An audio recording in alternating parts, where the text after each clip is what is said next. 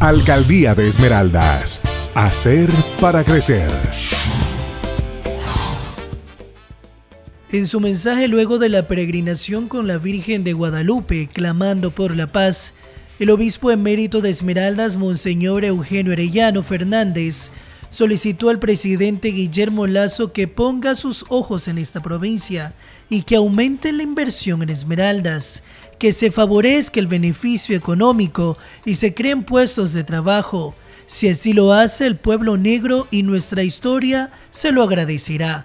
Quiero también decirle, señor presidente, que ponga los ojos en Esmeraldas y que aumente la inversión del gobierno de Esmeraldas para que se favorezca, se favorezca el movimiento económico y se creen puestos de trabajo.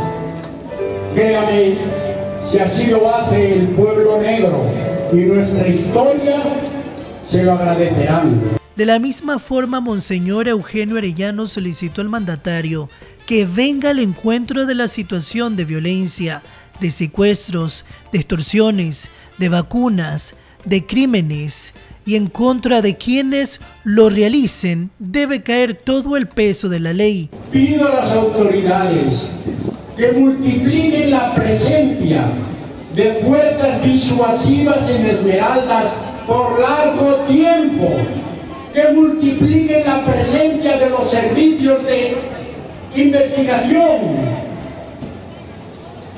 Vean que nuestro pueblo pierda el miedo colectivo que ahora le domina que puedan recuperar la confianza en sus autoridades.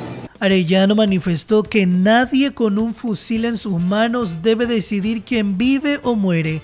Esa es solo una determinación de Dios. Alcaldía de Esmeraldas. Hacer para crecer.